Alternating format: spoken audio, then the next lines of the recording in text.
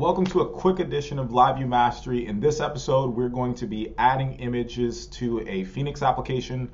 I'm going to make this quick video because I always have to Google this when I need to add images into an application because you typically do it like either at the beginning of the project or just very few iterations at a time. And so this video is going to chronicle how it's done because it's not necessarily obvious. So the reason why that's why it's not obvious on how to add images to a Phoenix application is because there is an assets folder. And you would expect that you would go and create an images folder inside of the assets folder, and that is actually not how it's done. So we're sitting with our puppy application now, and we're going to be adding a puppy logo to our application. So what I want to do is add the following. So we're going to add a logo right up here, right above puppies, inside of our puppy application.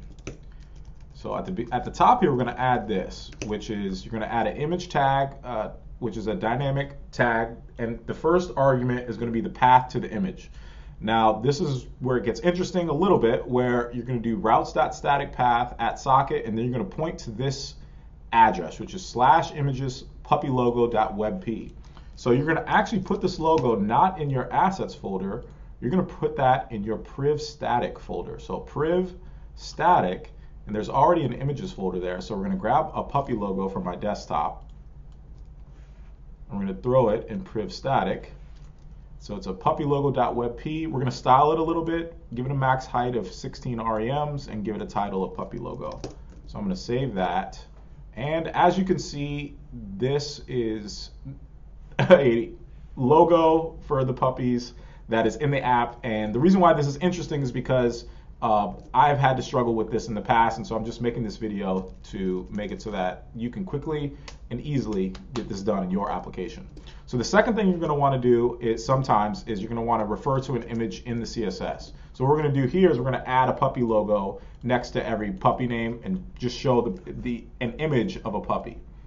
So what we're going to do there is we're going to jump down to where we're rendering the puppy's name and we're going to add a div with the puppy logo. Now the problem is that the puppy logo that we're refer or not the puppy logo, but uh, the puppy image that we're adding doesn't exist quite yet. Uh, or rather, we, we're using a CSS class with puppy logo. So I'm going to show you how to add that and make a reference to an image inside of your priv static folder. So we're going to open up our app.scss and we're going to add the following CSS class with puppy logo.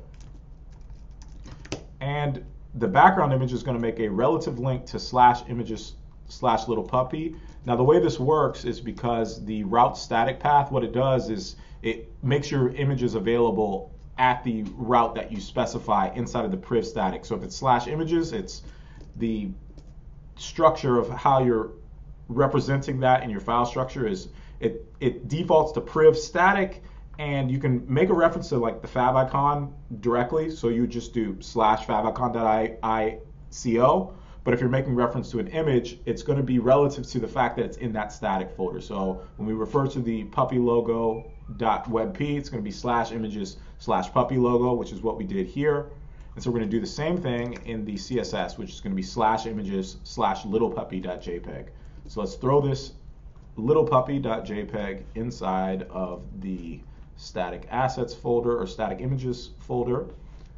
We refresh and let's see. We get the automatic live reload from Phoenix and we are up and running. This is how you add images to both the CSS and to the image tag uh, helper that comes with Phoenix. And that's it. That's the quick episode.